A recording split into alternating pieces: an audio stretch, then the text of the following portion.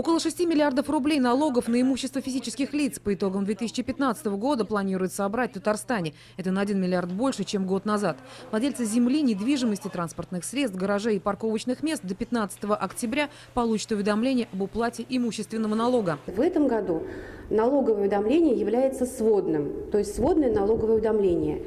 Что это означает? Это означает, что если раньше налогоплательщик, имея имущество, например, в Московской области или Москве и Республике Татарстан, получал два налоговых уведомления, то в этом году он получит единое сводное налоговое уведомление.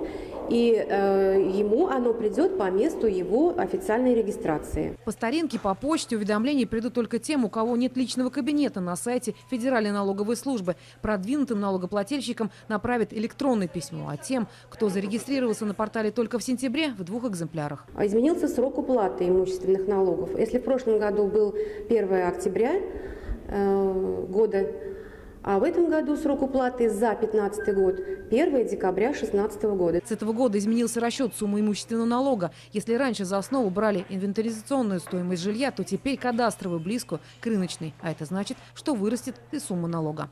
Елена Горбунчикова, Дмитрий Рыженко, телеканал «Эфир».